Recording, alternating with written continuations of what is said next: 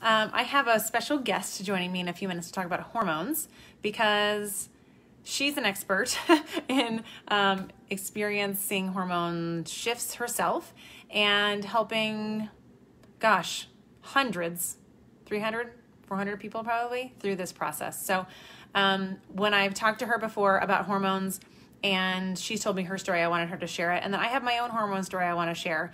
But I think it's really important to talk about what's normal with hormones because hormones for ladies, they change. Like our hormones go up and down throughout the day, throughout the cycle. But there are some normal things we're supposed to feel, and then there are some things that are kind of abnormal and more painful. Uh, I'm going to add her to this and see if that works.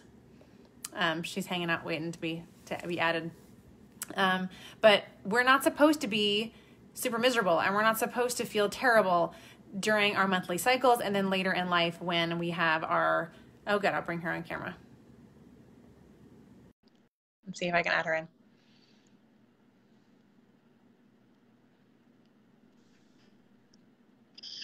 Hello Hello, can you hear I me? can. I was just saying that we're not supposed to feel terrible during our monthly cycles, and then later in life, when we go through our changes through perimenopause and menopause, we're not supposed to feel like life altering. Basically, with everything, with our natural supplementation, we're the reason we supplement is to make us feel good. We're not supposed to feel terrible, ever, really, right? Yeah, I know. I know we're not supposed to. I think that we we swing. We some things feel really terrible, and we think that it's normal and I'm like, oh, no, no, you can feel so much better. Other times it's the opposite. People think I shouldn't feel anything at all. I'm like, oh, no, no, you are going through something, right. you know, but it's, it certainly shouldn't be a big deal, or, you know. True. So. That's true. Um, okay, so tell me your story real quick about hormones and how you have experienced hormones in a bad way, in a negative way, in a more severe way, and then how you're experiencing hormones now. And then, so you want to be specific about like hot yeah, flashes? That, like, yeah. That's that that part of it. Okay. Three um, people who've reached out to me recently talking about how they're having menopause symptoms early in their 30s, which I think is your story uh-huh. exactly. And so I'd love to hear your story yep. for them. You bet. Okay, happy to share. Um, so for me, I went into menopause at 33.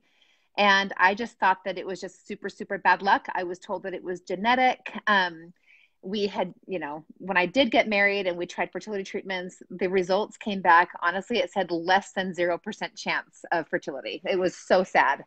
Um, when I began to learn finally about natural healing and underlying root causes, I had this awesome doctor who basically said, Your body does not want to be in menopause right now. Like it didn't want to start it at 33. It's not right. And she taught me about insulin and what a dominant hormone means, what that is, how all other hormones copy it and mimic that, which is what insulin is our dominant hormone. Um, and that my body did not want to be in menopause. She had a lot of confidence that I could absolutely have children, have fertility, not have hot flashes so young, all that stuff. So of course I'm like scratching my head, like, is this for real? Um, I didn't really have any other way to go because I had tried everything else for so long anyway. So I'm kind of like throw my hands up, sure, I'll try. Maybe you're right. Um, not a lot of hope though. So I've experienced hot flashes. And when the kind of hot flashes I had, especially so young, um, it was really, really bad. Part of my fertility treatments, they had to put me in a more extreme forced menopause. Those were really, really bad. So if anybody out there is complaining of hot flashes and then all the other things that go along with it, I feel you. I hate them. I may have said a lot of swear words. Like it was not very fun. Um, I'm also on the other end of it. I'm 48 years old now. I did go on to have two children. My period completely resumed. I'm not saying that that's the case for everybody. I'm just telling my story because I was a very extreme case in the negative and I reversed. So that should give hope to people in natural healing and balancing our underlying root causes. So because I experienced menopause young, and then now at 48, I'm in what's called perimenopause, um, where you do still have some fertility. You still have a healthy cycle, but your body's kind of amping up to go into what will be full blown menopause. Perimenopause can go five years, can go 10 years. Um, there are people who have pre- healthy pregnancies during perimenopause. It's just the early stages. You guys can research that, you know, on your own. Um, but hot flashes are, you know, in perimenopause as well and then of course in full-blown menopause so i want to talk about them really quickly because balancing your hormones balancing your underlying root causes taking a fully methylated multivitamin especially one like X Factor Plus um, that specifically targets. Oh my gosh, Tori, what's it called? I'm forgetting the nutrients. Thank you. Oh my gosh, tip of my tongue. Polyphenols. Um, when you polyphenols absolutely positively affect these horrible hot flashes and perimenopausal symptoms. Um, so of course, you know, all of that I would say balance root causes, balance root causes like all the day long. But I also want to talk about hot flashes and hormones because they're also like they're not the devil. They're not meant to be completely avoided, um, but they're also not meant to be excruciating and so uncomfortable. So I'm really glad that Tori wanted to talk specifically about this topic. It really is a topic all its own and deserves its own airtime. So, hot flashes, I get them sometimes. They are no big deal. They're not like they were. Let me describe what they were. It was described to me one time, and I'm stealing this that it's like driving through Arizona with no air conditioning and then turning on the heat full blast in the car. Okay. I'm sure you're going to get comments, Tori. funny, not funny. That people like will be like, yes, that's what I'm talking about. Okay. Those are bad. You don't have to have that that's happen. Not, it doesn't have to. No. Right. And people will have those multiple times a day. They'll be waking up with night sweats, fully soaked. I mean, all those things so extreme, so uncomfortable, too much. Your body is out of balance. Okay too much. Um, please comment and chime in about other menopausal symptoms for sure. But you guys get the gist of what I'm saying that extreme is not necessary. It does not have to be that unbearable. So now that my body is balanced, that my underlying root causes, my gut, my blood sugar, my inflammation, I am getting polyphenols, I am taking fully methylated vitamins. What am I experiencing? Why am I happy and chipper and thinking that perimenopause is like no big thing? It's because um, whoever's like giving us hearts right there just distracted me. Sorry. Oh, heart, distracted. Hearts, happy, happy. They were they were so cute and explosive. Um, anyway, but so I was telling Tori like I just barely I thought of her. I'm like, oh, I had a little hot flash, guys. Maybe six or seven seconds, and I might not get another one for two or three weeks. Like, no big deal. Are they stopping my day? No. Am I grumpy? Am I tired? Am I is my sleep interrupted? Am I waking up with night sweats? No, no, no. Like it's kind of dreamy. It's kind of like, what's the big complaint about menopause? It's no big thing. And I will continue to report my experience as I go through this, you know, in the future because I've been through it before.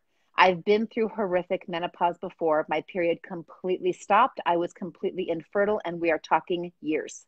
So I can relate of what it was like. You know what I mean? And now I'm like, okay, I feel like the clock kind of reversed. I became fertile again. My periods were actually healthy, not painful. I didn't have endometriosis anymore. I had two beautiful children at 39 and 44.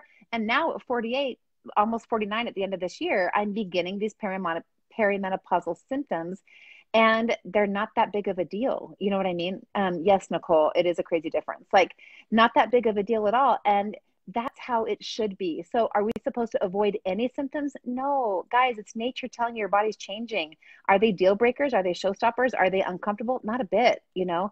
And there's a lot of research on this. You guys can read and hear testimonials from people that talk about menopause and how their body was just transitioning, is changing. Our bodies changed in puberty. We got a period. We learned what cramps were. We learned what um, emotions were or PMS was. Like it's a change as well. It's one that you should, exactly, it's part of nature. It's one that we should embrace, um, that we can absolutely tolerate and stay super happy and level and even and not, you know, not it's not unbearable. So anyway, I think that's the part of the story that Tori wanted me yeah. to kind of bring a little more reality Coming to. to realize that anything that affects your life to the point uh, you know, like like you said, like the hot flashes that are so bad that they change, you know, where you're going or wake you up at night or like they affect.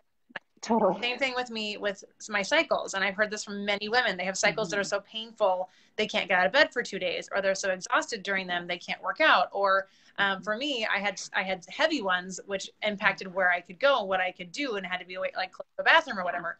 Those kind of things that impact your life like that are not normal. Mm-hmm. Nope. And not right. Necessary. And it's trying to support your body, and you just support your body with the nutrients mm-hmm. it needs to be in a more level place. And I was actually thinking while you were talking about those hot flashes that wake you up at night, I wish that I had had a pregnancy on plexus. Charlie really talked about like having like a test pregnancy and like having their type just because I'm curious how much different it'll be because I know from the research now how different it would be. But even those um, those hot flashes that you have after pregnancy and through nursing, as your body is adjusting, had I supported my hormones, would they have impacted right. my life so much? I don't think they would have. So, no, right. they wouldn't have. Yeah, that's actually really interesting. I think it'd be funny if you guys did have a test pregnancy. so, oh, Nicole says I had a pregnancy on Plexus and it was incredible. Um, that's awesome, Nicole. Um, yeah, that's that is interesting. Just know that like hormones are there for a reason. They're an indicator. All of these symptoms, just like what you just said, Tori, about like the hot flashes, the waking up at night, um, those are just indicators. Your body's just trying to communicate with you. It's no different than the other indicators that have nothing to do with menopause. If menopause is really bad, worse than it should be, it's an indicator. Listen to your body, balance your underlying root causes. If you're a teenager and your acne is really bad, it's a symptom, it's an indicator. So you know all of these things are just ways that we can listen and talk to our bodies and and then respond and little tips you know yeah there's so. also some research that i did that if you if you do need bioidentical hormone replacement therapy someday in life because you choose to mm-hmm. because you choose that you want mm-hmm. to have those those hormones so that you feel maybe more like you did when you were young that's okay but if you mm-hmm. choose to do that I've, i have read that your blood sugar needs to be balanced first to feel the effects fascinating oh for right? sure yeah, as a matter of fact, if you do hormone replacement therapy without balancing your underlying root causes, it is a wild ride trying to find your doses. It is so hard because I know so many people who've gone to really, really great hormone specialists. They're out there and kudos to them. They're amazing.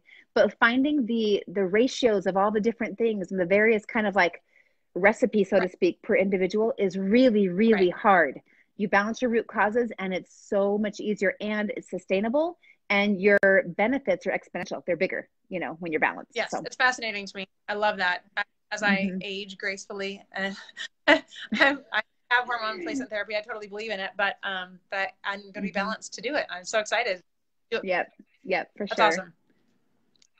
well good thank you for talking about yeah, it if you have time it. tomorrow we'll come back on and i have another topic i want to talk to you about because let's, let's just keep it. talking Let's do it. I love it. Our daily Thanks duo.